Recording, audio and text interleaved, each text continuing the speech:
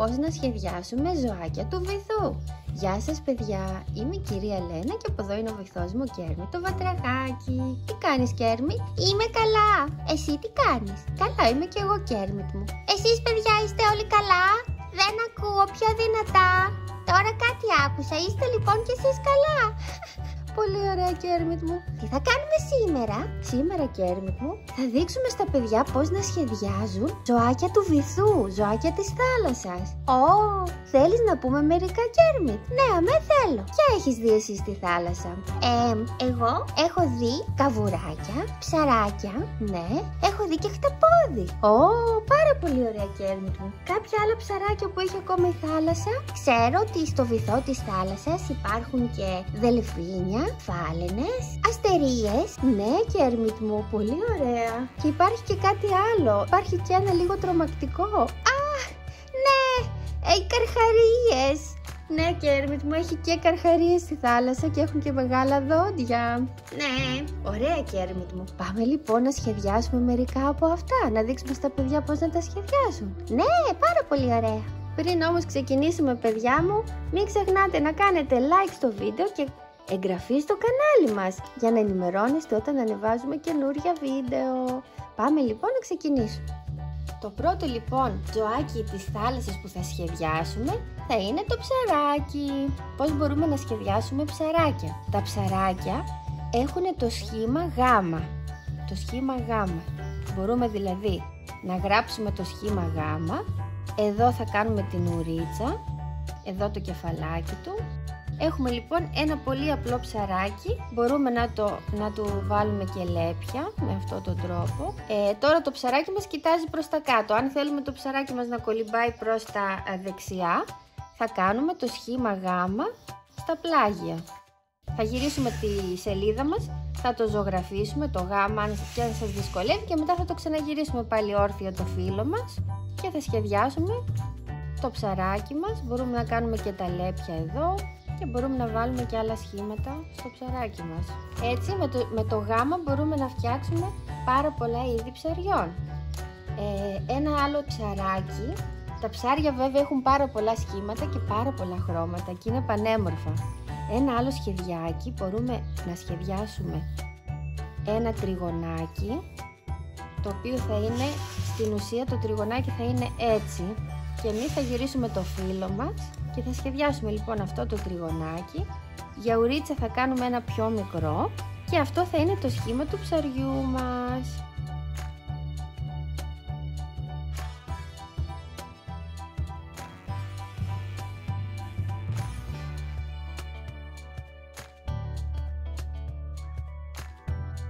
Πάμε τώρα να σας δείξω πώς να σχεδιάσουμε ένα καβουράκι. Σχεδιάζουμε αυτό το σχηματάκι πρώτα σαν ημικύκλιο, το ενώνουμε από πάνω και σχεδιάζουμε εδώ τα ματάκια του. Εδώ στην ακρούλα θα σχεδιάσουμε τις δαγκάνες. Πάλι θα σχεδιάσουμε ένα μεγάλο ημικύκλιο, σαν φεγγαράκι. Σχεδιάζουμε δηλαδή φεγγαράκια στην ουσία, τα οποία κοιτάζουν προς τα πάνω. Τα ποδαράκια του και το στοματάκι του και το ζωγραφίζουμε κόκκινο.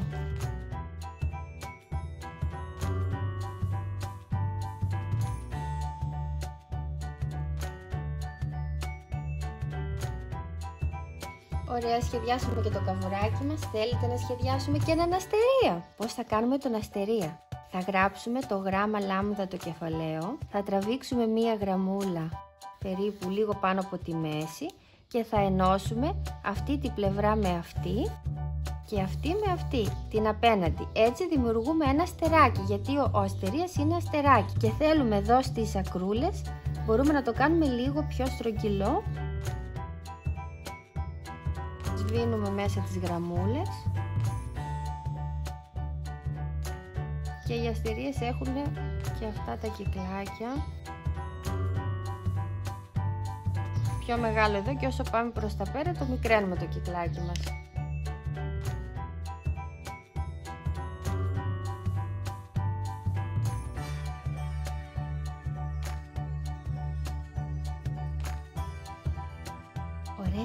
Πάμε να σχεδιάσουμε και μία θαλάσσια χελώνα. Σχεδιάζουμε λοιπόν ένα κυκλάκι, σαν κυκλάκι κάπως έτσι.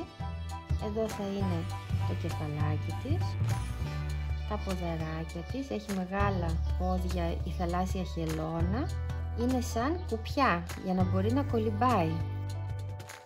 Ρίτσα και εδώ μπορούμε να σχεδιάσουμε κάποια σχηματάκια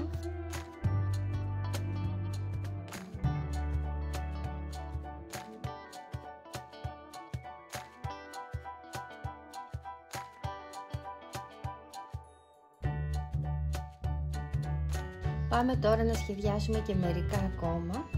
Θα σας δείξω πώς να σχεδιάζετε ένα δελφίνι. Πώς μπορούμε να το φτιάξουμε εύκολα. Σχεδιάζουμε ένα ερωτηματικό αγγλικό. Εδώ θα σχεδιάσουμε αυτό εδώ το σχεδιάκι.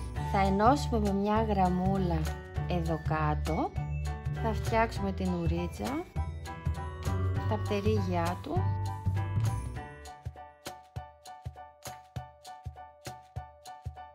το δελφινάκι μας είναι έτοιμο. Πάμε να το ζωγραφίσουμε.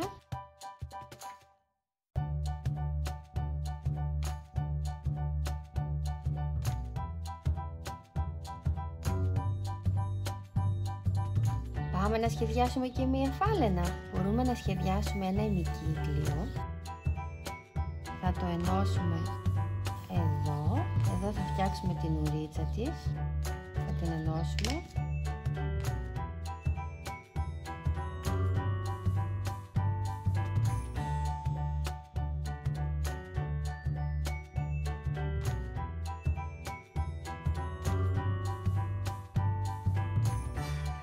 Πάμε να σχεδιάσουμε και έναν καρχαρία. Για να δούμε πώς θα τον σχεδιάσουμε. Θα σχεδιάσουμε πρώτα μία γραμμούλα μακρόστινη κάπως έτσι. Εδώ θα είναι η μύτη του, τα δόντια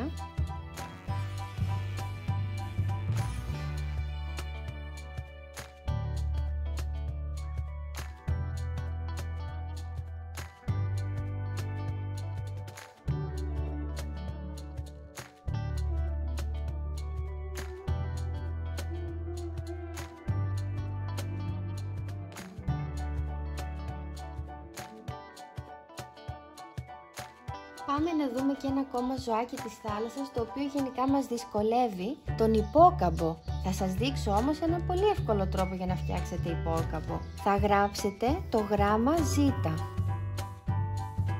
Εδώ στην πάνω πλευρά θα σχεδιάσουμε το προσωπάκι του, το κεφαλάκι του, θα κάνουμε αυτήν εδώ τη γραμμούλα το κεφαλάκι του με αυτόν τον τρόπο θα φέρουμε τη γραμμούλα κάτω εδώ και θα σχηματίσουμε και την ουρίτσα του. Και τώρα θα βάλουμε και λεπτομέρειες όπως τα ματάκια, τα πτερίγια του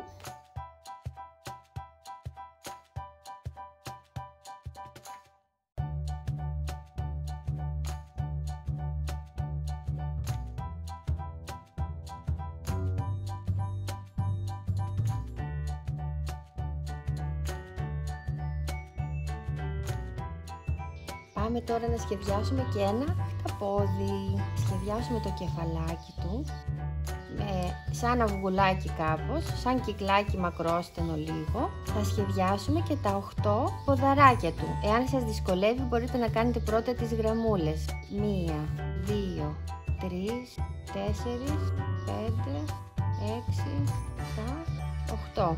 Μετά θα έρθουμε στις γραμμούλες και θα τις κάνουμε πιο χοντρές